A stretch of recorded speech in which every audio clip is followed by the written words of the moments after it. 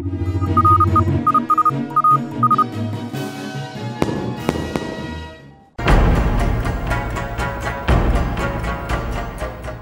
五零三，一月二十一号的评估报告，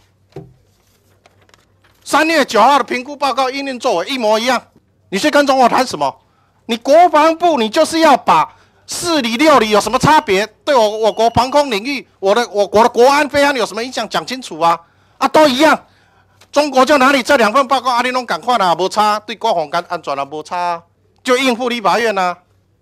一月二十一号跟三月九号报告一模一样啊。是很重要。主委，你告诉我四里跟六里有什么差别？你告诉我，你为什么四里不接受，六里你就接受？你告诉我。我希望他离开中线越远越好，啊，只两两里你就接受，因为他现在的军机你接受了没有啦？你接受了没有我啦是有条件的接受。你有条件接受四里跟六里差了两里你就接受？十六秒到海峡中线跟十三秒到海峡中线有什么差别？你告诉我。委员知不知道，今天中共的军机在航在正在海峡的西这这个这个这个中线的西边，他随时可以过来，可是他不敢过来，因为我们军方能够全面控控制。他现在已经往后又延了是军机，我现在在跟你讲航线的这个部分嘛。这个主委主委主委，我我真的坦白讲，对你们彻底失望了。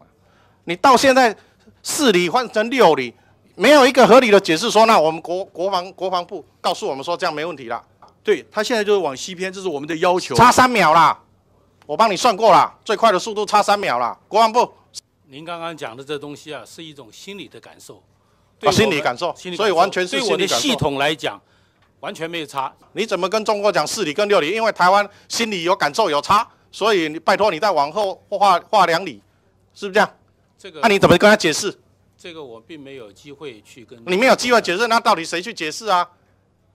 那、你那政府内部你要讲啊，市里立法院不接受啊，不，我们我们一再的跟对岸表示，除了航安跟这个国家安全的这考虑之外，没差啊他说心里而已啊另外，两岸关系，这是两岸啊关系。你航安啊，不台湾然你刚刚跟我讲说没差，战战机不是台台湾对不对他说心里有差感受嘛？